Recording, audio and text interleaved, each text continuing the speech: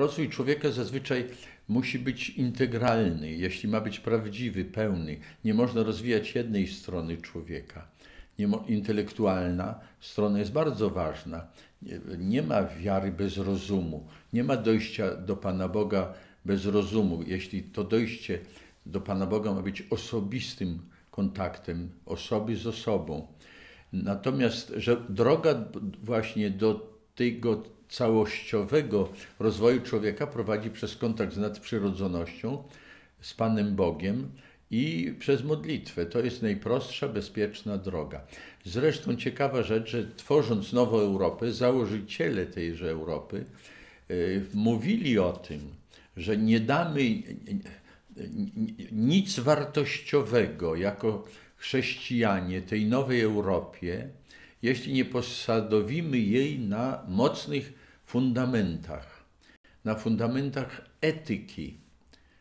Etyki nie subiektywnej, tylko etyki obiektywnej, skonfrontowanej przez prawo natury, skonfrontowanej przez prawa drugiego człowieka, nie na egoistycznym rozwoju i, i czy, czy zaspokojeniu potrzeb, czy interpretowaniu świata, ale na obiektywnym, uniwersalnym i do tego prowadzi właśnie droga modlitwy ciszy.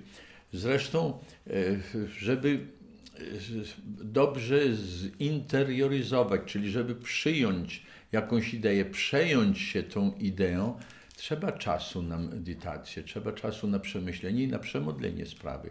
Schumann na przykład bardzo e, ciekawą taką właśnie myśl, którą tam zacytowałem, mówił, że, że że, że właśnie te sprawy leżą u podstaw. Jeśli z tym się nie uporamy, to Europa będzie się chwiać. I widzimy teraz, że niejednokrotnie sami y, członkowie parlamentów, ludzie myślący, socjologowie, filozofowie podkreślają, że, że dzisiaj prawodawstwo jest w wielkim kryzysie, że Europę stworzono przez nowe prawa ciągle pomnażane, Niejednokrotnie e, widać, że są te nowe prawa w sprzeczności ze sobą. Subiektywizm prawny się zakradł, bo proszę, prawo do życia, prawo do interpretacji własnej, do tolerancji, ale ono często jest atakiem na drugą stronę.